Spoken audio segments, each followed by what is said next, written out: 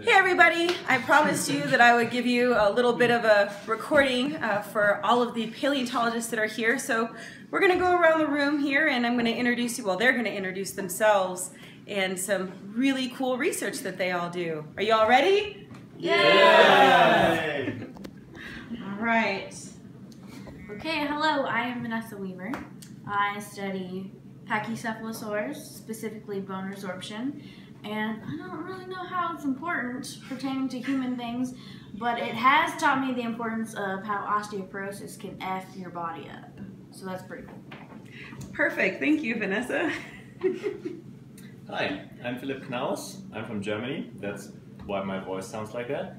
And um, I study, I'm trying to figure out how um, basically it came that when we get up in the morning, we have to have our coffee and then we can go out, but we don't have to lie in the sun for an hour like a crocodile because they're ectotherms.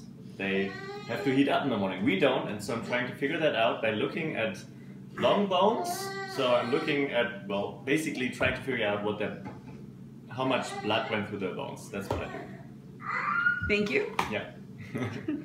Alright, I'm Antoine Bercovici and I'm from Paris, France, but currently I am at the Smithsonian. And unlike all those guys, I don't work on big fossils, I don't work on bone, I actually work on tiny fossils. Pretty much the tiniest fossil you can find, which is pollen and spores from plants. And that's important because it shows the type of plant that grew uh, during the time of the dinosaurs, or all their time as well. And that's useful for dating sediments and for constructing past landscapes. Uh, and the parallel to what we, what's happening today is that we're looking, we can look at uh, the collapse of uh, terrestrial ecosystem, plants, and that was supporting uh, animals, and look at that today because we're doing some damage to the environment. And it's good to compare that with the past and learn what happened in the past to understand what's going to happen today. Great. Thank you. That's really important. Yeah, sort of. Hi, my name is Koen Stein, and spelled K-O-E-N and uh, otherwise. Uh, I'm from Brussels, Belgium, and I work on uh, late Cretaceous hadrosaur communities from Far Eastern Russia. And I'm studying uh, differentials between extinction uh, of hadrosaurs in North America and in Asia, and trying to find out were there any differences between different continents? Was there a gradual extinction? Was there, you know, was the extinction completely abrupt? Um, What does was that it- mean? What do you mean? What does that mean? Abrupt? Yeah? That everything died? Okay. You know, in There a, you go. in a very short time. or was it going on for a couple of million years? And was it going very gradual, very- very slowly? Was there because of environmental changes like we are causing today? That's Okay. That's My sexy. research That's in a sexy nutshell. research. yeah, baby. Thank you. You're welcome.